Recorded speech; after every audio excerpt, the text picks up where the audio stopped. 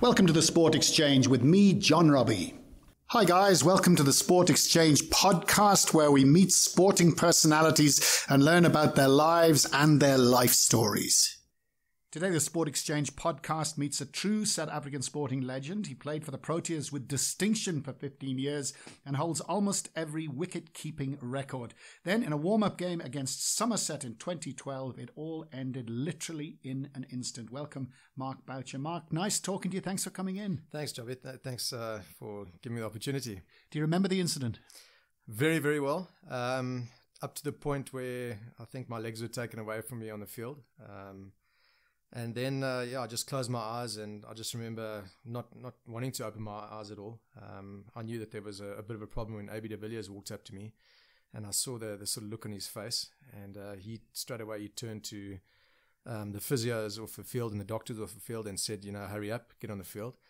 Um, and yeah, then I, I, couldn't really see out of my left eye, um, and I decided to close my right eye because I had quite a bit of a headache at that mm. stage. And then the next time I actually opened my eye was when the doctor um, looked at looked at it in the hospital, um, and he. The first thing I wanted to do was was maybe try to get back onto um, onto the field to to play in my, my next test match, uh, which was probably about a week's time. And I said to him, I said, Doc, am I, am I going to be okay for that next test match? And he sort of looked at me and said, No, Mark, I think this is uh, your time's up in the game of cricket. What did, what did you feel like at that moment?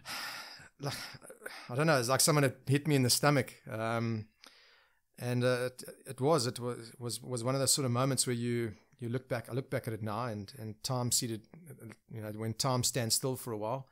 I remember going back to the room, and that's when the doctors were signing all the papers, and that I was I was in my room by myself, and I remember looking out the mirror, uh, well, out the out the window, and there was a little pigeon that was was looking at me, and I somehow we we just come back from a, a trip to from Switzerland. Uh, we were on a pre-season trip, um, and I remember speaking to a guy by the name of Mark Horn, who's an expeditionist. I know him very well. He's mad as a hatter. Yeah. And I, I sat with him.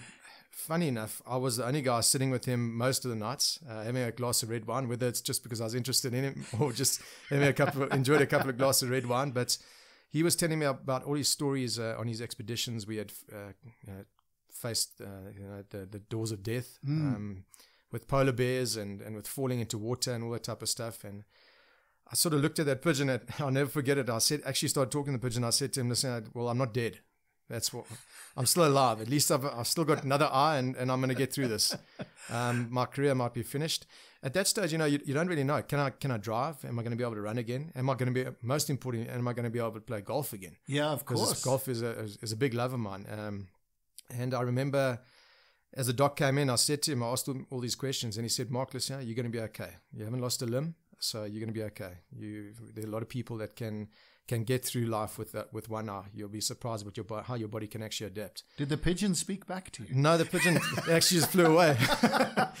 but uh, yeah, just one or two little funny things that happened that day. Um, obviously, when I had to break it to the, to my teammates, yeah, um, it was one of the hardest things that I, I had to do. Um, thankfully, they took over for me and, and they announced it to the press. Can, can, you can you see out of your left eye at all? Um, look, I've had about thirteen op- ops in it, yeah. Um, and I've got a little bit of vision. Funny enough if uh, I do spend quite a bit of time uh, in nature and I, use my binocs quite a bit, if I start playing around with my left hand side, uh, then it does get a little bit clearer. Um, but the, the eye takes a long time to heal. The doctors have just said to me, look, we did a proper job on it. Um, we just have to wait and see how science can, medical science can move forward and and then make a decision whether to operate again to try get some clarity out of it. Um, but it is very blurred at the moment. Uh, Jacques Kallis always mocks me. He says, I, I paid quite a lot of money for uh, a mount for my binoculars. He said I sh- he said I should have got a monocular. I'm wasting the other half, so I might have to cut them in half one I'm day if I can't I'm, get the rest of the eyesight. I'm glad humour still exists in, in, in sport. Is it true that I mean it was Imran Tahir bowled, he bowled a tail end batsman, the bail did the ball hit the bail into your eyes? Is that what happened? Do we know? The bail, well, the bail bounced and, and hit hit my eye, um, and it went about two to three centimeters deep in. But I mean, did the um, ball knock it in like a hammer? Because surely a bail wouldn't do that on its own. The ball hit the bail, and the bail f- sort of spun back into yeah. my eye. So it just it was quite funny the way it actually happened um, because everything that was just going against me that day. I was wearing glasses, but then it started drizzling a bit. Um, and so I took my glasses, put them on top of my cap. We were basically just changing ends for Dale Steyn. Um, so I didn't think that it was necessary to get a helmet on because Yeah. usually I keep to Imran Tahir with a helmet. Um, but in, on that particular day, I thought "Ah, I'll, I'll do one or two overs without a helmet. It's it's not that serious. And then the guy just out of nowhere, he just took a, a bit of a swipe at it, and it great delivery. Went through the gate and hit the top off stump where most coaches will say you've got to try the top Yeah, off stump, yeah. and he hit the top off stump, and the bail just spun back and, and went straight into the eye.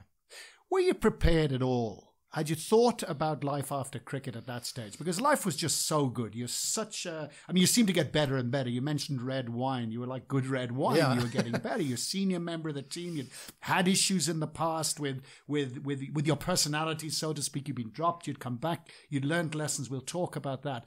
But but where were you in terms of your your life journey before that moment? I think I was in a pretty good space. I think Gary Kirsten changed it all for me. Um, I went to New Zealand and I had a good chat with him, and he said to me, "Barch, you know, you're not getting any any younger, um, and you know, you deserve the right to to maybe call it when you want to call it. Um, so let me know when you want to call it." So I said to him, "Well, Gaz, maybe England is the way to go." At that stage, uh, we were number two in the world. If we beat England in England, we'd we'd go to number one.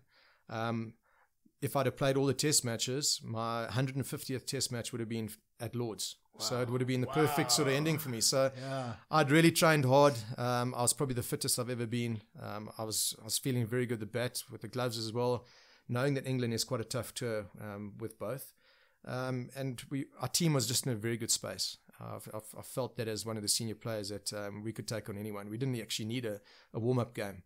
Um, we were just very very well gelled together, especially after that Switzerland trip. It was a really amazing preseason trip. Um, you know, from a personal perspective, yeah, that, that was the plan to to play against England. Um, you know, hopefully win the series, finish off at, at Lords, and end up number one. Yeah. Those all happened except for the 150, uh, the 150 test matches, and me being there. Um, But with the guys are very good. Um, I was on the couch actually watching the game at Lords when when we ended up winning, and the first phone calls I got from the guys when they got back in the dressing room. And although I wasn't there, I honestly do feel feel like they they finished my career off for me that particular day. Are you bitter? Are you angry? Not at all. You must be a little bit. Not at all. Um, if I could have taken 147 test matches at the beginning of my career, I would have laughed at a lot of people. Yeah. Um, I would have said, "There's no ways I'm going to play 147 test matches." So I've I've been around the world. I've experienced a lot. I've had a lot of ups. I've had a lot of downs. I wouldn't change anything for it. I think um, my injury that I had uh, has probably turned me into a better person. It's made me How? open my eyes, if you want to call Yeah, it that, yeah. um, rather than lose lose uh, sight. No, tell me more about that. Um, What was wrong with you beforehand? Look, I think I think I, I used to see things my way a lot uh, instead of instead of looking at maybe other guys and saying this, you know, there, there are different ways to to do it. I, I was always, you know, probably a little hot-headed Eastern Cape boy, Single minded. single-minded, Pig-headed. where I thought, okay, I know that I'm giving 100%, yeah, and this is the way that I give 100%, and then maybe saw someone doing it a different way, and I said, no, he's not doing it the same way as me, so he's not giving 100%. I think that's where my friendship with Jacques Kallis was very important because Yeah. we are actually we're good mates, but we're completely different. Um, and no one could ever say that Jacques wasn't given 100%. Yeah. So he taught me that. A guy like Hashim Amla, just not chatting to him, but just the way that he was as a person, he taught me that as well. Um, the, the big thing for me, and I, now I've written in my book about it as well, the bubble. My bubble burst when, when I had my injury. Um, and, you know, in the sporting world, whether it's right or wrong, uh, we create a little bubble uh, around ourselves and we live in that bubble. And we sometimes we, we don't allow family into that bubble. We push mates away. Um, and then all of a sudden, my bubble was burst, and I, I was no longer a cricketer. I had to retire. Um, and then all of a sudden, I was like, okay, where are my family? Where are my friends? And it made me realize that I'd been pushing all these guys and, and these family friends away from, my, from away from me throughout my career, but now I needed them badly. And thankfully, um, you know, they were the better people than what I was, and they were there for me. But it did make me realize that um, I think it's something that us as sportsmen we sometimes get wrong. Sometimes it can be difficult because you you know you you got to try and look away from one or two little problems that you have in your life in order to be focused on the field. Well, well, uh, let me come in there because you, you say that, and it's it's it's incredibly honest of you. And yet, if you didn't have that single mindedness, stroke selfishness, if you didn't have that bubble, maybe you wouldn't have gone as far as you did. Well, that's exactly what I'm saying. I'm not saying it's right or wrong. I'm Yeah. saying sometimes that's what's required. I mean, I remember one or two teammates, um, you know, losing family members uh, just before a test match um, and, and also one day games. And they're coming back and, and playing that game uh, and, and really performing well. You've got to be a little bit hard headed to, to be able to do that and, and single minded to be able to do that. I mean, can you imagine the sort of stress that you're going through thinking about having maybe lost your father or, or your mother or, Yeah. or brother or sister and walking into the sporting arena with, with 100,000 Australians shouting at you and swearing at you? You know, you, you've got to create some sort of space around you to pr- protect yourself. So, I, I don't know. I don't know. It, it needs there needs to be a balance though. That's that's one thing I do know. Um, I know a lot of sportsmen have probably lost a lot of friends. I think we, we do become very selfish at times, um, and it's just yeah, you, you got to try and find a balance. I think Gary it. Kirsten called you a tough little shit. I mean, that's that's a compliment in a way, isn't it? Yeah, I, I learned from the best. Yeah. he, he was also a tough little bugger. Eh? No, tell he us, tough. but, but, but- because I mean, there's so much to talk about. Inevitably, we're going to not cover everything. Yeah. But tell us about that under 19 squash final when you had the stress fracture. I found that incredible. Yeah. Um, so the under 19, I mean, I was always I always thought that I was going to be a, a squash player, not a cricket player. Yeah.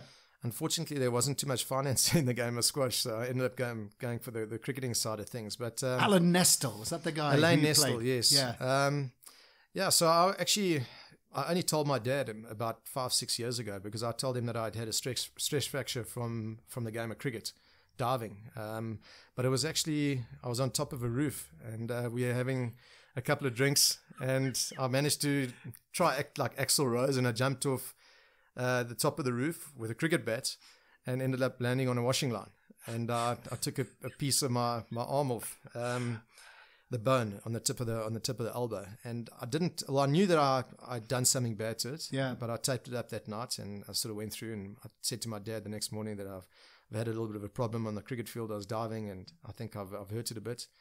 Uh, but we went for the operation. We had pins. I had pins put in my arm, and we we we sort of sorted that out. But the interprovincials that were that were coming up, um, I didn't want to show a sign of weakness to anyone um, because I knew that they would pounce on that. So I kept the whole thing quiet and I just sort of taped my arm up and I just said, no, it's a little bit of tennis elbow.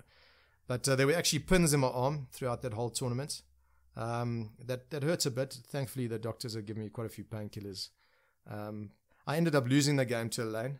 But you were 2 0 down and got back to was, 2 I all, didn't you? yeah, I was two 0 two 0 down, got back to two all, and uh, unfortunately lost the last uh, the last game in that match. 9 7, I think. Is that right? But yeah, so I, I was I was fighting a lot of demons in my own head um, about the injury, but also hoping that my dad didn't find out the real reason how I actually got injured. Yeah, your dad was obviously a hell of an, an influence, and he, he was tough as well. He was very tough for me, um, but it was something that I needed, and I think um, you know you can be you can be tough on people who whose attitudes and whose characters can ac- accept that. Um, but then there's certain characters that you've got to be a little bit light on and a little bit weaker to. Um, you know, a guy that needs maybe a pat in the back. I think in the in the beginning of my cricketing career, Hansi Cronje worked that out for me very quickly. Um, I remember dropping a catch um, against Nasser Hussain off Allan Donald's bowling. Yeah. And I always played on TV and it irritates me. but uh, I learned a lot from that. But I mean, Well, I- t- t- tell us what happened. Because you, you were, what, down on yourself, sulking a bit, and you thought Hansi was going to put his arm around you. Yeah, so you know, I'd, I'd I'd actually kept very well, and then the one catch that was a dolly, I ended up dropping, um, and I felt sorry for myself. Well, I didn't feel sorry for myself. I was quite hard on myself, and uh, Allan Donald was shouting and screaming. He actually came up to me after the end of the over and he patted me back, said, "Come, boy, we need you." Uh, uh, and then I saw Hansi walking in from cover, and I thought, okay, he's going to do the same. And he just grabbed me by the scruff of the neck and he, he shook me and he said, "Listen, stop sulking. There's no place to hide here. We need you. South Africa need you. Wake up and start keeping properly." and uh, that was the, the best the best thing that's ever happened to me in my career because I straight away I knew that there was no place to hide in international sport. Yeah. Um, and and if I made a, a mess up on the field, I needed to take responsibility for it. And whenever after that, if I'd have dropped a catch or something like that, and I saw one or two guys walking towards me, I'd just say, "Get away from me! I know what I've done, and I'm going to try to rectify it." And, and Jonty was also very helpful at one stage, wasn't it? When you were having a bad tour, was it Sri Lanka? Uh, it was in the West Indies. West Indies, West, West Indies. And yeah. Jonty actually came to me and he, he said to me, listen, you're putting in a, enough work here. You, unfortunately, the runs are just not coming for you. Stop focusing on yourself, focus on the team scoreboard and see what you can do for the team rather than yourself. And I went out and I, I, I tried to do that. And all of a sudden, I got to 20 and I walked off the field. And I think it was a lunch break. And he said to me, Okay, fine. Our score was on 310. Uh, you need to try get us to 380. So I said, Okay, fine. Not a problem. And I went out there and ended up getting another 30 runs. Next minute, I was on 50. And then all of a sudden, I felt like I was in, I was in great form now. Um, and as soon as I got to 50, I was like, okay, now I can relax. And then I got out. Right. And I walked at the field and he said to me, he said, you got to 50 batting for the team, but you got out because you looked at your own individual score. And that was a big lesson for me as well. And, and something that I learned throughout my career as well. Is sometimes, you know, when you, when you look at your, your individual score and you, you try perform for yourself as an individual, you put more pressure on yourself instead of actually performing for the team. And I know cricket, cricket is, is, is an individual sport, but it's, also a team sport. It's a unique sport it in is, a way, is isn't it? Yeah. It's, it's, not golf where you got to play for yourself, um, and it's not rugby where totally the team, totally the team. But it, you know, you got to face the music when you're out there as an individual, but you're performing for a team as well. And I thought that was a, a massive lesson that that Jonty taught me. Tell us the other story about one of my favorite people, Pat Symcox. I mean, it was one of your early, early tests at the Wanderers. You're facing Shoaib Akhtar coming in at a million miles an hour. And I mean, describe what happened because it's it's one of the funniest insights into any sport I think I've ever had. Because you were a baby, weren't you? I was a baby then. Um, it was my first ever Test match in South Africa, uh, playing against Pakistan. We had Waqar Younis, uh, we had Wasim Akram, we had this youngster Shoaib Akhtar who was very very quick at that stage. He was a bit wild as well. Yeah. And we got ourselves into a little bit of trouble, and I walked out to to bat with Sima and. Uh, Simo was on a and Simo was what late late thirties. Yeah, he, he was, was, one of the seniors. He was eh? old. He was old. Old. Yeah. anyway, so I walked out and I actually enjoyed Simo. We got on very well. Uh, he always used to abuse me a bit, but in, in good humor as well. So I, I walk out there and now I faced my first couple of balls. Obviously, I'm very nervous, and Simo's facing a couple of balls, and we we start getting a little partnership going. And then um, I can't remember the captain was, but he said to uh, Akhtar warm up. And Akhtar warmed up, and the next minute he was running in um, kicking off the side screen. And he was bowling short and he was bowling quick.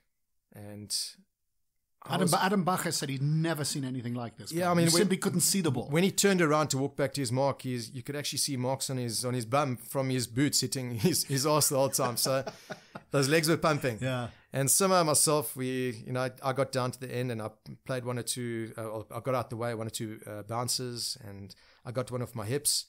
And um, Simo got on to strike. At the end of the over, Simo comes up to me and says, Batch, we got to make a plan here. We can really, really upset these guys. If you have a look at and see how far the wicketkeeper Moin Khan's standing, every time he bounces me, we can actually run a single here. It's a great way to rotate the strike, but also for, for us to not not let them get settled yeah. um, in bowling to one batter. Uh, and also we can put runs on the scoreboard. So I thought, gee, great experience by Simo. And yes, he is standing very far back at the Wanderers. So that's what we're going to do. The next over, get down there, and Simo, first ball gets a Yorker, manages to dig it out. Next ball, bumper. Simo ducks, and we take off for a run. And we made it easily. And Simo looked at me from the other end and he put the thumbs up and he said, Batch, that's great, great cricket, well done. Now we now we're thinking. Now we're thinking. We're building a partnership. Well anyway, Shoaib Akhtar turns around now. Now he's really upset because we've now taken a bye. It's an, almost an insult, isn't and it? And he runs in and I can see those flaps from his hair and he runs in and he bowls one of the quickest bounces I've ever faced. So I duck underneath it and I take off for a run. As I take off, I look at Simo. Simo just turned his back on me. So I'm thinking, what's going on here now? And now all the Pakistanis guys are saying, oh, you're out, you're out here on your own. Yeah. Not, you know? And I walk to, to Simo after I face the ball. I says, Simo, what's going on? So he says, Batch, in the interests of the game, I think it's probably better that you face him rather than me. and that's when I learned that you can't buy experience in a supermarket. Yeah. but tell us about the, the, the, the, comments that he made, that Simo made, because he was a great chirper, wasn't he? At the Pakistans. And of course, he went on to make a century and you had this famous stand. Yeah, look, look, I think um, a lot of the comments that Simo used to make, I can't actually repeat. Especially on yeah, but um, you know there were a couple of great ones. I remember Simo when I first made my debut uh, in Sheikhupura in Pakistan. Um, a place Dave, no one had ever heard of, and you'd travelled for 36 yeah, hours. Dave, Dave, Richardson had actually um, uh, said just before the game that his calf, he had pulled a calf muscle. So, as I walked out, now I'm shaking like a leaf, and Simo comes up to me. I'm thinking you know, he's going to pat me on the back as well, and he just said to me, "Batch, don't cock it up." And I sort of looked at him and I was like, okay, well, that's how my, my relationship with Pat Symcox started. But I, I, knew it came in from a good place. And, and today, I think the guys still stay, say that in the dressing room because it's something that myself and Jacques sort of carried on yeah. throughout the generations. So when there's a, a, youngster coming in for his debut game, I think guys always look at him and say, "Don't cock it up." Don't cock it up. I, I think it sort of calms you down a bit because it's it's done in a good way as well. No. Were ever actually scared facing fast bowling? I mean, physically scared? Um, I was scared facing back to the one year uh, in a one day game. Um, we had just beamed Jacques mm. um, and hit him on the back. Uh, I think he he had bowled, bowled, another beamer to another guy. Deliberate or, or accidental? Well, we'll never know. Um, yeah. And so he, he bowled two beamers in the space of two overs. Uh, and then Jacques got out, bowled middle stump out the ground, and and uh, I had to walk to the crease. And obviously, the first thing that you're thinking is just watch out for the beamer, and you know, forget the bouncer. You you sort of know how to face a bouncer, yeah. but a beamer at that that pace can kill you.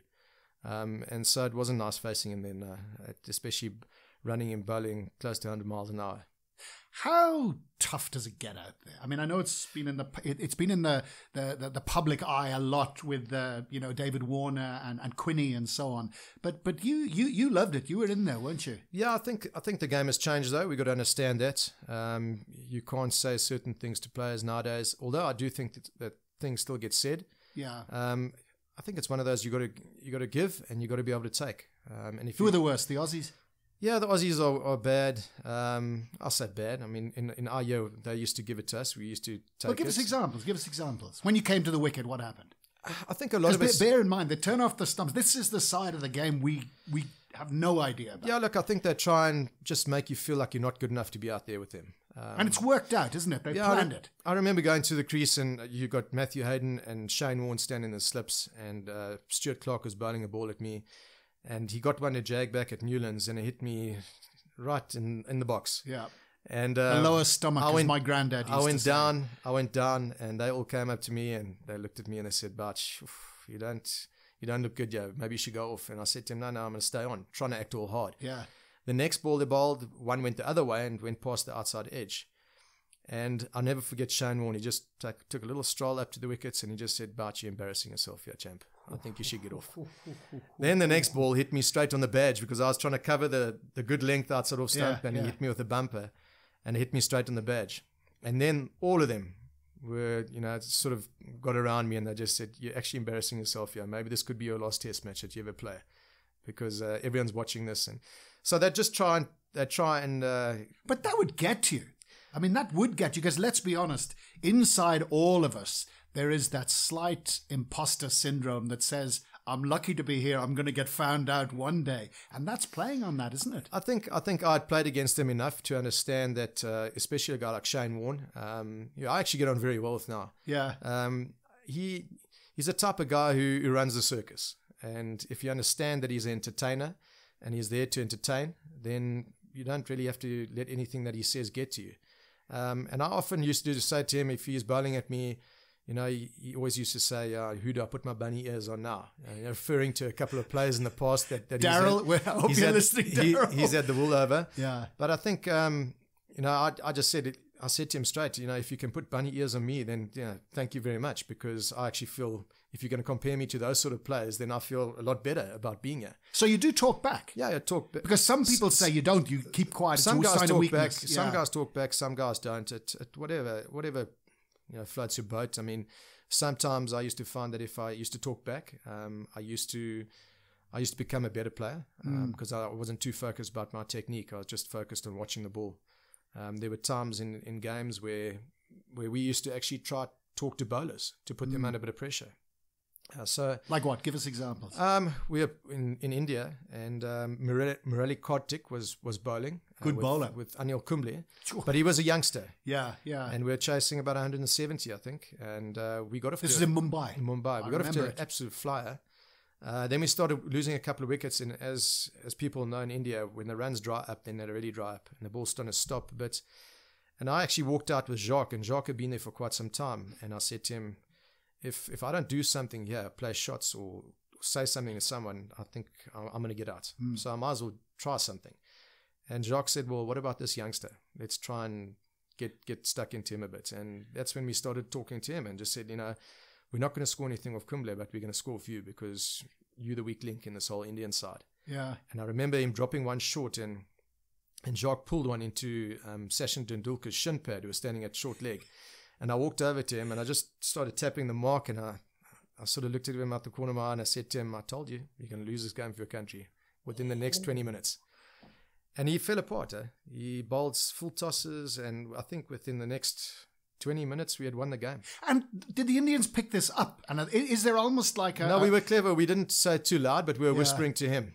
Yeah, yeah. And you could see that he was he was he was wanting to bite, but it's not in his sort of demeanor to to have a go back. Um, but uh, you could see it was getting to him because as soon as he he bowled one bad ball, then we were into his space. I think so, you got 27 that day, yeah. didn't you? And you, you won the test. Yeah, Jacques Jacques batted really well throughout yeah, the whole game yeah. as well. So yeah, we ended up winning the test match. But I think that's that's not sort of abuse. That's just trying to be clever and get into a guy's space and put him under a bit of pressure. And, and I often felt that if I'm under pressure, then why not try take the pressure off myself and put it onto someone else. And would you go to him afterwards and say, "Hey, no hard feelings, guys"? Hundred percent. Yeah, we would, especially with Murali. I'm very good mates with him, so we we often joke about that particular game and say we were both lighties at that stage, and yeah, yeah, and we have a beer around it, and uh, you know, there's there's been some great stories, even like a guy like Kevin Pietersen. Yeah, uh, that that moment that he was at uh, where's it Edgbaston? He was on 94, um, and or 98 or 96 or 98, I think, around about there. And uh, I told AB de Villiers to come up uh, from from long on. And I just said to KP, I said, KP, you've batted so well. And this crowd's just waiting for you to run down and hit Harrow over his head for six. Go for it. You deserve it. And then we'll just bring the, we'll put the field back out again and then we can start playing again. And he blocked the first ball. And as he blocked the first ball, I said to him, now come on, man, take your skirt off, you know. And and KP's a good friend of mine as well. And and then the other guys started niggling a bit. And yeah, long story short, he ended up holding out to to to AB at, at Madon, trying to hit it all over the top. So you know, little things like that. It's not only about harsh abuse, yeah, it's about yeah. being smart as well. There's certain guys that you don't talk to, there's certain guys that you can talk to. But where's the line? The Aussies talked about the line and they seem to want to set it. and in fact I remember in the one series you were quoted as saying that we had a few drinks with them afterwards, but we didn't really want to. It was just because of it. So that they'd obviously cross, crossed the line. Why, where, where is that line? Well, I don't know where the line is, to be honest with you. I think, but you do because you've told us what was acceptable before, and now you know that, and you've also suggested that sometimes it's unacceptable. Well, where, I, where is the well, line? I think that what is acceptable in yesteryears is might not be acceptable today, um, and also if if Australians say something, and there was a lot of harsh words that got said um, a lot worse than what you hear about today. Yeah. Um, and so we thought that that is the line. Um, Would that who, be personal? Would that be about families? Would that be yeah. about appearance? Would it be yeah. about color? Um, well, not not amongst the players about color, but yeah. certainly the, the the sort of fans and the, the spectators. Because I've heard Australia is the most racist place to play. Is Makhaya Ntini got um, he got a lot of stick there, um, and I think that's where the ICC sort of said, okay, fine, we, we need to put um, a lot of rules and regulations around the stadiums. But certainly, players talking about uh, relationships and all that type of stuff, yeah. that certainly did come up. But I, when when the Aussies were yeah, the reason why I got stuck in a bit on, on social media was that you know they've got players who had played in yesteryears, um, and now all of a sudden they're the ones who determine where that line is, and then mm. our guys react on that same line, and then they say no, they've crossed the line. So no Hypo- hypocrisy. Exactly, and especially coming from certain players who are always there in the thick and thing, the thick and thin of things, and I just think that uh, yeah, it is. Uh, one or two of them were being hypocritical. Tell us about that amazing catch you got, Sachin Tendulkar. Of I think it was with Makhaya Ntini, was it? Tell us about that diving catch. It was voted one of the best catches of all time. I think the only reason it was but one of the best because it was to, to Sachin Tendulkar. Well, and what better you probably reason? Got a, you probably got a lot of Indians voting there. Yeah, um, yeah, it was one of those ones where you know Makhaya. It was always a, a nice guy to keep to. Yeah. Um, he always kept me on my toes. He had the odd ball that went down leg side, and we were also very good mates. So you know, for him to to nick Tendulkar and uh, me to dive to my right and, and take a nice catch uh, is always well, nice. But how, how, does that happen? Because is it pure instinct? You, there can't be any thought process because it happens so quickly. I, I think it's just instinct and a lot of training, training yeah. muscle memory. Uh, it's the same as a as a batter, top top line batter coming out and facing a quick bowler. Um, you you practice for that sort of thing. Uh, and a lot of guys say, oh, this guy's got a lot more time than another guy. Um, I think the world's best batsmen and world's best fielders probably look like they have got a little bit more time. Yeah. But maybe that's the training of, of that sort of intensity, facing a lot of quick bowling and nets um, and having it lo- might look like they got more time, but it's just uh, repetitiveness of, of facing that Do- do- intensity. H- How much do you know what the bowler's going to bowl? I mean, we know in baseball the the the guy behind the wicketkeeper in baseball, whatever they call him, and he gives the fingers, and he basically calls what the bowler is going to bowl. To what extent do you know every ball what's coming? I think um, I know exactly what the guy's plan is. Um, so if if you get a guy like Dale Steyn, you know that he, when he's running in, he wants to try to shape the ball away. Yeah, Um, so you could sort of stand a little bit to, a little bit closer towards your slips, and you can push your slips out a bit. Uh, once the ball gets a bit older, then you know that he wants to bring the ball back in and, and, and reverse the ball, which means that you've got to go a bit tighter uh, on the line of the stumps. So I and think what about a short? What about a bumper?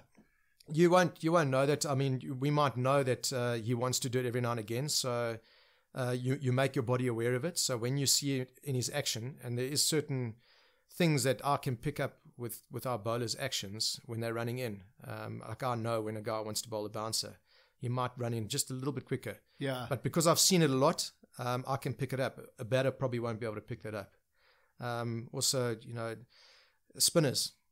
Um, I, I'll have chatted to spinners, and I know what line that the spinner uh, that I want the spinner to bowl because I can pick up one or two little technical de- defaults in a in a batter's Yeah. stance or in his technique. So And is that an ongoing process? Because obviously you've got to take into account the weather, you've got to take into account the pitch, and you've got to take into account the ball. Those are all changing all the time. So are you constantly watching and constantly having this dialogue? I think that's one of the jobs as a wicketkeeper. You need to be the guy who you got the best view in the in the stadium. So you need to be the guy to tell the captain is the ball swinging. So if the ball's not swinging, you need field changing. Uh, if the ball's not swinging, then maybe we need a ball straighter so we don't create too much width and all that type of stuff. So I think as a wicketkeeper, I was always involved in the game. So I was naturally always thinking how to get a batsman out or to how to draw the runs up. So, so yes, I think it's something that, that I always chatted to the bowlers about and gave them my input of what I thought. So I sort of knew what they were trying to do the whole time. Fascinating. And of course, you were a reluctant wicket keeper, wasn't it? Richard Pybus as a as a lighter, you were a you were an off spinner, and he, he made you take the wickets. And I think you went home to your dad and complained. Yeah, I, I didn't enjoy the the wicket keeping at first. Um, to be honest, I enjoyed bowling. I always thought thought I was going to be a, a, a fast seamer. Yeah. Obviously, my heart didn't allow me for that. Yeah. Then he turned me into an off spinner, and then eventually, uh, I, I think uh, he just decided, no, maybe he's too he's too mouthy and he's he's too energetic. He needs to get behind the stumps. Thankfully, you made the right call. And when did you when did you embrace it? Um, I started wicket keeping uh, in my standard eight years. So what's that? Grade ten. Grade ten. I started uh, keep keeping wicket. Yeah, and, and but when I say embrace it, you were reluctant at first. When did you say, "I'm actually enjoying this. I'm good at it. I can have a career at this"? I think uh, once I got chosen for the the border schools team, Yeah. um, that's when I sort of said, okay, well maybe there is a career for me here. Um, and then then I actually started enjoying it. Uh, and, and was it always a professional career you wanted? like I said in the beginning, you know, I was I always thought I was going to be a squash player. Um, Yeah. I was probably a better squash player than what I, what I was cricketer. Um, and then, But it was always sport. I mean, there was never a, a, No, my- a my dad- university my- education, a profession. My dad knew. My mother wished that I was going to be academic, but my dad Yeah. always knew that I was going to be a sportsman. He always used to argue with my, with my mom, saying to her, "Listen, let him play sport. He's always going to be a sportsman. He's not going to be the academic. He gets bored in in the in the office in the classroom." So. I, I loved the outdoors. I really enjoyed the outdoors and, and, and being on a field kicking balls with my dad and him throwing balls at me. So and a great school, Selborne, eh? yeah, it is a very good school. And and did you ever consider I might not make it? I think it is always a, a consideration that goes through your mind once you making the transition from school into varsity. Yeah. Um, I, I had a very good uh, under 19 tour to, to England and to India. Uh, and then I got selected for the National Academy. And the National Academy in those years was almost like you, your future is now planned. Who for that? you. Was that after Clive Rice? that was Clive Rice and Hilton Ackerman. Jeez. So whiz. I mean, that's like a masterclass. and we were in, in amongst some great names at the academy as well and i got selected for that and i think that's when not only me but my family realized okay the game of cricket is something that we're going to have to look forward and look forward to in the future and hopefully you know you can succeed in it Tell us about the the famous 438 game because it's almost as though people have forgotten you're 50 with with Herschelle and Graeme Smith and so on. I mean, f- first of all, what was it like when the Aussies were batting? Entertaining. I must admit, it was quite nice to watch from the back. Um, you had the best view, I suppose. Yeah, yeah. So I mean, Ricky Ponting's knock that he played was spectacular. Um, uh, look, we knew the wicket was very good. Yeah, and we knew that the boundaries were quite small and the ball was flying, but. It wasn't like the balls were just flying just over the boundary rope. They were flying to all parts of, yeah, of the, yeah. the, bigger part of the stadium. So, you know, we knew we were under pressure. Um, the, the, the series, what a lot of people forget, the series is actually two all. So it was a I'd forgotten that. It was yeah. a final wow. final game. Yeah. So there was a lot, lot of pressure from the series point of view as well. And it'd been a fantastic series. We had we thought that we should have won in Durban. We had just missed out in Durban, and then obviously going to the Bull Ring was going to be a massive game. And the morning we woke up, uh, you know, we were obviously a little bit nervous because it was a final for us. Um, and they batted, and there was lots of laughs. And that after that, come off the field, I remember Vinnie Barnes and, and Andrew Symonds having a bit of a dig at each other um, when they're walking off. But uh, they really had thought, okay, that's game, set, and match. And to be honest with you, uh, without without jokes aside, I probably think 99.9% of us in our dressing room thought that that is game, set, and match as well. Uh, a lot of the people started leaving the stadium. Yeah. And uh, we sort of got ourselves into position. Well, Graeme Smith had a magnificent. Graeme and Herschelle knock, played didn't? Yeah, knocks. Yeah, yeah. Um, and we got ourselves into position where, know, I remember mys- myself and Justin Kemp going into the into the lookout um, room in the change room and said, "Guys, we've actually won the game from here before against the West Indies." I was going to say, when was the moment you thought you had a chance? I think I think it was probably in the thirtieth over um, where we had chased down close to two hundred. Uh, because they always say you can double after thirty, don't yes, they? and we we had chased a, a game against the West Indies um, recently, well, just before that. Yeah. um, where we had batted really well and scored over 220 overs. And we knew it was possible, especially on that wicket at that ground. And do you think the Aussies thought as well for the first time? Hang on a second, Look, this I, could go horribly wrong. I always, you you know, when you when you're defending a total like that, you you always go, okay, well, if they get off to a good start, then we're under a bit of pressure. But they always thought that you know Two that wickets. they're losing a couple of wickets here, and we'll get stuck into them. There was a little stage where myself and Jacques batted together where we just had to try and steady the ship a bit and take it back down to a sane level because it was all insanity before that. And a lot of people were probably okay. Well, I remember watching a DVD where one or two of the commentators saying, "Yeah, they're losing the, losing uh, the game for their side now." With all due respect, how do they know how to chase down 434? no one had ever done it before, so we were also it was a new new territory for us as well. So do you listen to the commentary on in in the? I, I think because it was a DVD made of the whole game. Yeah. we we've watched the DVD. But I mean, normally you'd have the television inside. But do people listen to commentary? no, not the commentary. We turn Yeah. the commentary on, onto silent. Uh, we'll just watch the, the game and the reviews and all that type Yeah. of stuff. Um, so yeah, we, we get we get close, and I think the heroes of the day, the unsung heroes of the day, um, were the Roger Telemachus, uh, Yeah. the Jan van der Wath, those guys coming in. People forget they even played. Yeah. They played unbelievable knocks, and even a guy like Andrew Hall. Um, you know, they, they came in, they hit boundaries at great times. My job from from Mickey Arthur was to just stay there and make sure I was there at the end at the end. and yeah. try to stabilize all innings. And if I was there at the end, then we got a chance of winning. Talk us through the last over. The last over. I I've remember. got, I've got goosebumps. I remember hitting my, the goosebumps. first ball. I hit so sweet, and it hit Brett Who- Lee. who's on the, bowling? Brett Lee. Brett Lee, yeah. And hit Oh. Brett Lee on the ankle. And I actually thought I broke his ankle. I was more worried about the fact that the ball only went for one instead of going to the boundary for four because it would have gone for the bound- Yeah. would have gone to the boundary, and then the game would have been close to dead and buried. Um, and then Andrew Hall got on strike, and, and myself and Hawley had a bit of a conversation. And I said to him, Look, yeah, we've come all this way. We've batted without any, anyone blocking our, our style, and that, you know, just be nice and positive. If we can keep the ball on the ground, then keep the ball on the ground.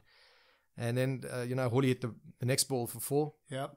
Um, and then he got out, trying to do the same thing, uh, unfortunately. And I, now Makhaya Ntini walks to the wicket. And I remember walking up to Makhaya. I So met him everybody in that stadium just thought, "Oh my goodness, Yeah. no." And I remember Makhaya walking to the crease, and I went and met him halfway at the square leg umpire. And uh, like I said, Mackie and myself have been very close mates for a long, long time throughout our whole career. And it's the first time I've ever seen Makhaya Ntini turn white. but he was he was shaking his bat, and Yeah, yeah. eventually I just said, "Oh, Mackie, um, Get this, your bat on it. this this big backlift that you usually got, he's definitely going to try by the in swinging Yorker. Uh, just just watch the ball. Uh, try keep your bat nice and low, and just watch me. Uh, if I run, then you run, and you must understand. You know, I was unfortunate to be a part of that, that team where where we, we drew in the semi final of the World Cup. Of course, uh, with with Lance Klusener and Allan Donald. So Edgbaston was it? Yeah, where yeah. they had that they, they had that uh, mishap with the run running between wickets, and that was going through my mind as well. So I just said to him, I said, Mac, you just watch me. If I run, you run, you sprint, and you dive. So he said, okay, fine, that's not a problem. Whether you, you heard anything I was saying, I'm not I'm not 100 percent sure. But he managed to dig out. How anybody could hear anything? The noise was. He managed so to dig out a, a in swinging Yorker and, and steer it down to th- third man, which is probably the best shot of his life. Mm. And uh, I remember him running past me and shouting and screaming, going, "Yeah!" cheering, and I was cheering as well. And I get down to the other end, and I was like, "Okay, Mark, let's focus here now because I'm the only one who can mess this whole game up for this entire crowd." and uh, yeah, it's amazing how time slows down. Brett Lee ran in uh, the next ball, and I was just thinking to myself, you know, the same thing as what I what told Hawley. Um, we'd batted so positively the whole game.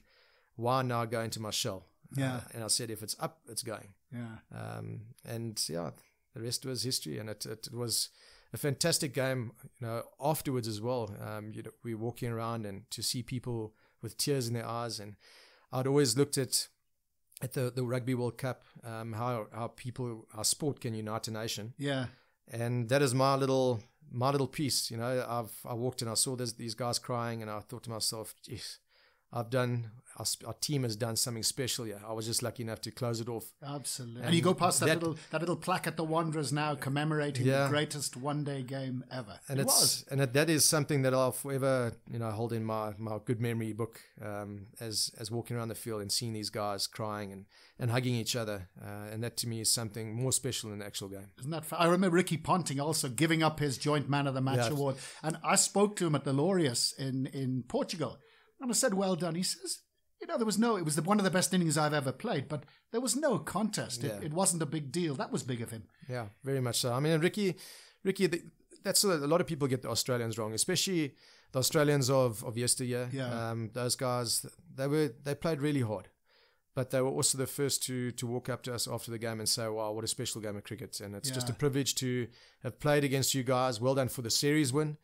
Um, and we come in, we come in to have a drink because we want this game to go down as the greatest ever one day game. That's the way it should be. And we want to be yeah. known to to come have a drink after afterwards with you. from, well. from from that wonderful memory, King Commission persuading Herschelle Gibbs to tell the truth. Tell us about that. Um, yeah, there was a tough time in I think South African cricket's history. Um, I remember going to to Herschelle, and I was very close to Herschelle as well, and, and sat with him and uh, I could and see he was that, a youngster. I could see there was something bothering him, um, and he said to me, "Come, let's." Because our, our agent Donne Commins, we had the same agent, so he said to me, "Come, let's go for let's go for a drink." So I said to him, "Okay, fine, not a problem, let's go." And this was about nine o'clock in the morning, and we went to a, a little little pub around the corner from from town in in Cape Town, and uh, he looked at me, and I could see something wasn't right. So I said, uh, "Come, Ish, come clean with me. What's what's going on, bud?"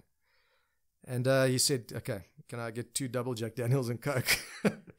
so I said, "Oh, yeah, yeah, oh, comes trouble, go. double, yeah." So I said, "Okay, fine, I'll have one with you." And then, yeah, then he just, yeah, he basically broke down. He just said to me, "Okay, fine, this is what happened." And I mean, I didn't know what to do. Um, so the first thing I did was was phone my agent, Donne, and I said to her, um, you know, what do you want us to do? And then that's when they phoned the lawyers.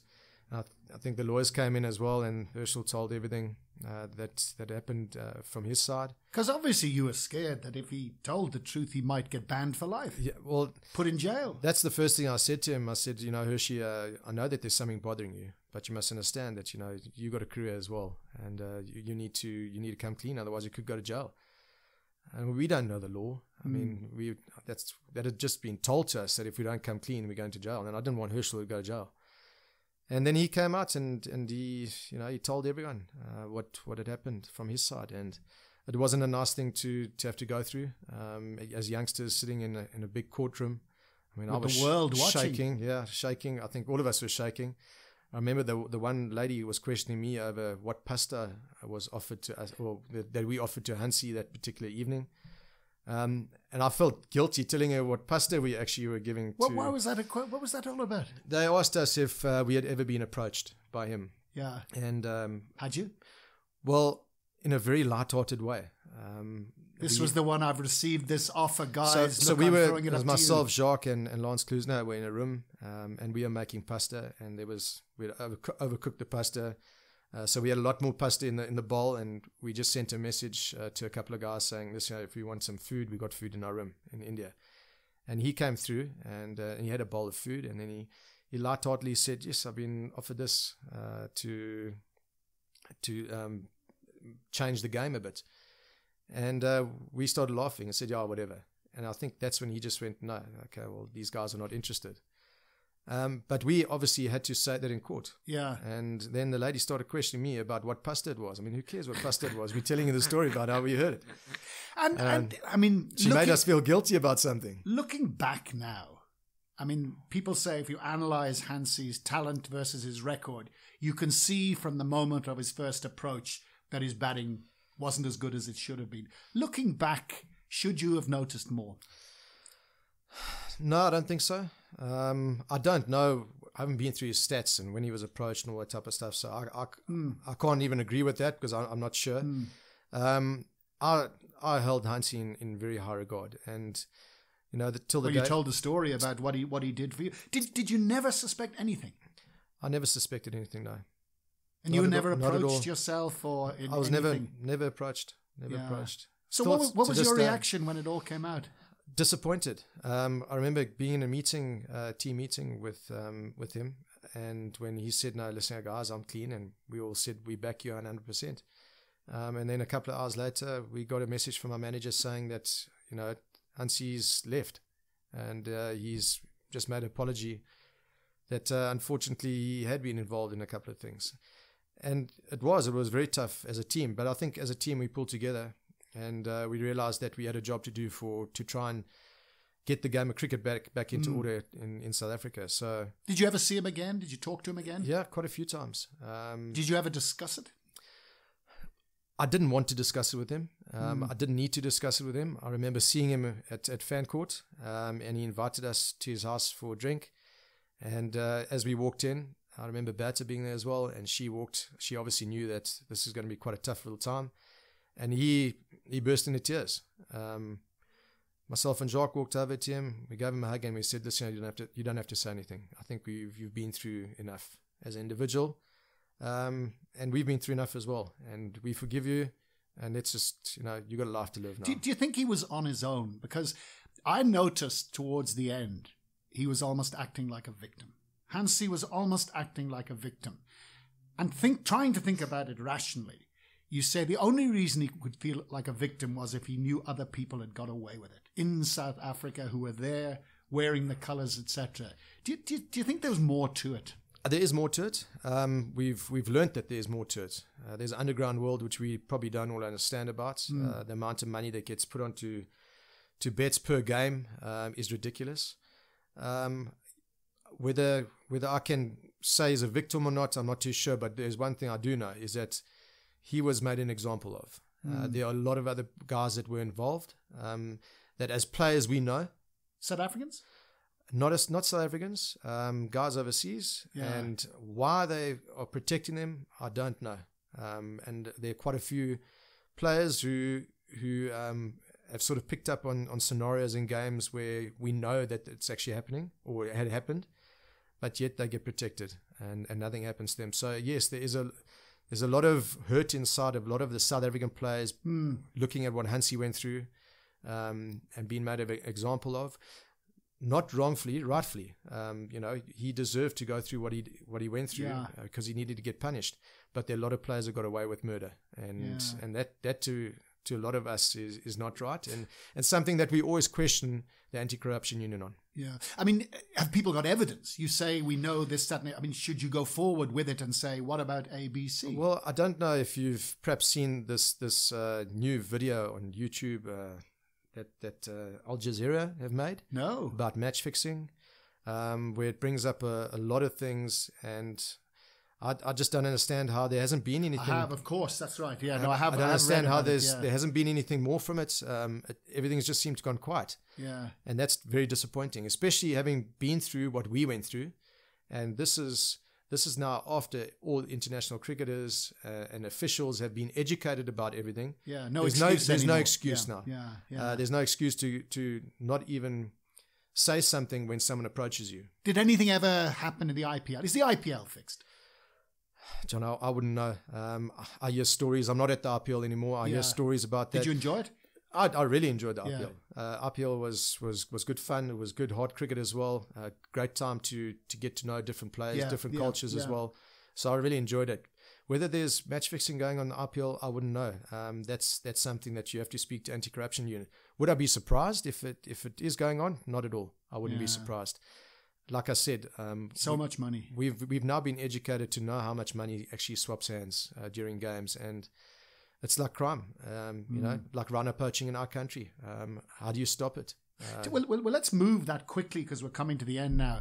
You, you, you got involved with the, the rhino poaching. You, you love the bush, etc. T- t- tell us about that. Were you approached? Was it your initiative? How did that come about? Um, we actually went fishing in the Lower Sabi River with um, a couple of friends of ours who, who live at Skukuza and a guy by the name of uh, Frik Rossouw, who heads up the private investigations unit. And we, we spent the whole day fishing, walking up and down the river. Obviously, you got guns as well, tiger fishing. And then uh, we, we put up tent next to the Lower Sabi um, in the middle of nowhere. And we actually bumped into these guys from the anti poaching unit. And uh, they were obviously walking late at night, which to me was amazing that they weren't scared, first of all, of the bush, being a, a young guy in the bush. And they came over to the fire. We offered them some food. We gave them some food. Obviously, they weren't drinking. And um, I said, said to them, Do you mind sitting down for five minutes and just telling me a couple of stories about what you guys go through every night, uh, being beanies on, on foot rangers? And they, they told us a couple of stories, and it was fascinating. And I got, you know, love, I love animals to bits, and I love the bush. And I got to a point where I said, Albie and uh, Jacques Rudolph, uh, who was sitting there with us, I said, Come, boys, we've got to try to do something. Was this before or after the accident? This was before the accident. Before the accident, Before right. the accident. So I said, come, boys, we've got to try to do something here. And Frik Rossouw actually mentioned to us that uh, SAB um, had been involved in, in doing quite a few things for conservation. So I said, well, that's our angle in because Castle Lager had sponsored cricket for, Yeah, for how many yeah, years. yeah. So I said, okay, that's the angle. So when, when I got back, um, I've, I found a couple of guys from SAB, the guys that we'd been dealing with in the cricketing worlds, and they said, fantastic idea. Um, and how we were going to help them was to try and extract DNA from rhinos, uh, get companies to try extract DNA from rhinos, and then buy a DNA machine. Um, so basically, you put all the rhinos on a database, so that if the horn gets found somewhere in the in the world um, through Interpol, that can actually connect the, the, the, horn and the animal that's been poached. It was a scientist from Pretoria who actually discovered you could Dr. uh, Dr. Cindy them. Harper, That's yes. the one, yeah. So we we actually spoke to Cindy and we asked Cindy what what she needed, and she needed a new DNA machine. Um, so that was our first goal: is to try and raise enough funds to to look after this DNA machine, which we eventually we got, um, and then we started our organization. It started off with the South Africa, uh, the SAB Boucher organization, and now it's moved to the Boucher Legacy. Um, you know, unfortunately, SAB have, have pulled out after their whole um, change with Takeover, A- yeah. with with AB InBev. Uh, but Alistair Hewitt is still very passionate about it, and uh, Great he, guy, He still yeah. heads it up with myself. Are you looking for sponsorship? Can you do with more sponsorship? Yeah, we we're looking for guys to help us. I think that the whole the whole thing that that I thought really had a good ringtone to it was you know Castle, and it uh, it all comes together with the Castle. yeah, yeah. You know, we wanted to try and pull all companies, and companies it can be quite difficult at times because they all want their own piece of it, and they say, "Oh, we are doing this and we are doing that for it." And I'm saying, guys, for the better of our species, and not only for rhinos but for conservation, Yeah. let's all just put our own little preferences into our pockets and all pull together, and try to do something, go all going, all the arrows going the right direction, and do something that that can really make a difference. So you know, I'm not I'm not really concerned uh, about different companies looking after their own little individual statuses. I want all of us to come together and, and try to do something that can really help. And you know, I've had a lot of. I want to try and create a, a sort of concept where sport gets involved with conservation. That's why I Yeah. pulled a lot of the South African cricket guys in. Uh, Kevin Pietersen is Yeah, massive with me at yeah. the moment as well. We just had a couple of uh, fantastic golfers join us as well, the Birdies for. Um, and I just do think that there's a massive gap in the market where we can all join together and do something for the good of conservation. Rhino at the at the moment is our major issue, but there's elephant down the line. There's wild dog. There's there's lion. And, and the other point, if I can come in, because some people might say, "Oh, lovely, but why are you looking after animals while there's people starving on the streets?" But tourism is what is going to save this country's economy, and animals are so much a part of tourism. So it's it's not just about animals; it's people as well, isn't it? Well, that's hundred percent. You know, a lot of people, a lot of people ask me that same question. Mm. Okay, in the beginning part of my career, I was looking after young kids. Okay, and then I moved on to the conservation side. And a guy by the name of Norman Adami, who used to look after yes, SAB, yeah. he actually sat me down when I got involved. And I sat down with Dr. Ian Player as well. And they explained to me the reasons why we need to have, we need, need to look after conservation and especially our wildlife. Wildlife has put South Africa on the map. And we got to understand that. We might not think it, uh, that, that, that that's the point. But um, tourism, like you say, is massive. Mm. If we lose one of our big five, then why would people want to come to South Africa? Absolutely. We we only we look after. Well, we don't look after. We are people who are protecting different species in our country. We don't own them. We don't custodians. own the We're the custodians. We yes, way, yeah. We're the custodians of all these animals. So it's our it's our job to look after them. And uh, it's it's not only the people who live in the bush it's not only their job; it's the job of the people of, of Africa and in particular South Africa. Well, we'll put we'll put details up there, and and, and look, we could go on talking for ages. There's lots we haven't covered, uh, uh, Mark. A bit of advice, youngster out there, you know, thinking about a career in cricket. In cricket, what would your advice be briefly to that kid? Um, depending on the age, first of all, you've got to love the game. You've got to have a passion for the game. Um, as parents, I think it's very important for them not to to overtrain. Mm. Um, I think let them have a bit of fun. Don't look too technical. I think once they get to the age of probably 15, 16, then they can start looking at technique.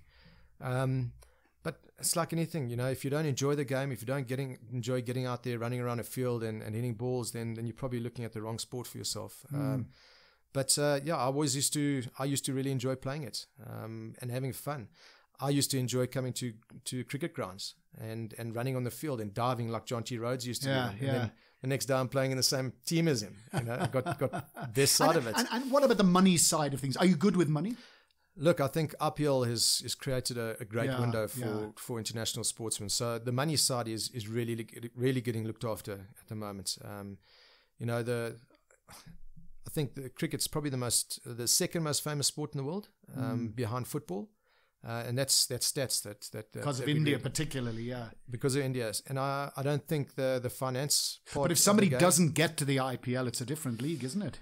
Well, I think there's so many different leagues up and running now yeah. that I think the IPL was the start of the whole thing. Um, but now there's so many different leagues. Guys can make a, a proper earning from from just going around the world playing. Guys can blow leagues. the money as well, eh? They can blow the money, and I think that's why it's important to prepare for the future. And uh, for for me, that you know, I was very I was very lucky that uh, I had a a very good friend, uh, a motherly figure, and a, an agent or manager in Donne Commins who yeah. Who taught me what it's all about. Not to just go searching for that the top dollar, but to look after sponsors um, and and look after your future and put money away now while I've got something right now. Don't go blow it on on on toys. Put it away for for your your your future of your family, for your kids, for your your schooling, all that type and, of and, stuff. And, and, speaking about that, you've got a, a big development coming up in November, haven't you? I have. I've boy, got, boy or a girl? I've got a little boy coming oh, coming in word. November, so really looking forward to that. I think. Well, I know it's going to be life changing. I've yeah. got all my mates uh, telling me how much uh, I'm going to change and but it's it's come at Would a. You rather he was a cricketer or a lawyer? I don't really care. I think I think a, a, little golfer I'd really be be happy with. Maybe he can be a very good golfer and take me to Augusta to play Augusta one day. Or wouldn't that be fabulous? Yeah, listen, listen, Mark. It's been fabulous talking to you. Thank you very much indeed. Thank you very much, John. I really appreciate it. Wasn't that fabulous? I would have liked to have spoken to Mark Boucher for hours. Absolutely fantastic. Thanks to Slow in the City for hosting us as usual. Follow us on social media at TSC Advisory. Subscribe on Apple Podcasts or your favorite app for updates. See you next time. Cheers from John Robbie.